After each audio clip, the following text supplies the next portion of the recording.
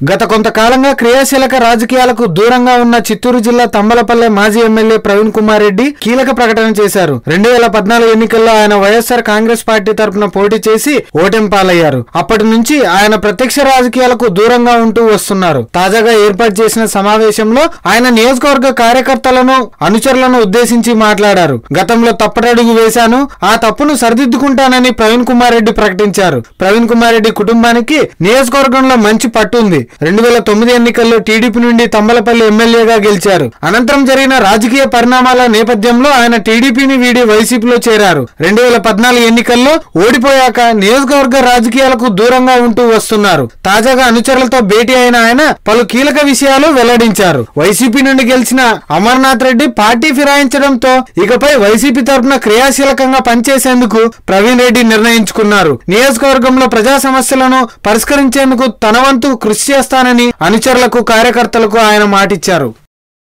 ఈ వీడియో మీకు నచ్చినట్లయితే లైక్ చేయండి షేర్ చేయండి. మరిన్ని అప్డేట్స్ కోసం మా జనహితం టీవీని సబ్స్క్రైబ్ చేయడం మాత్రం మర్చిపోకండి.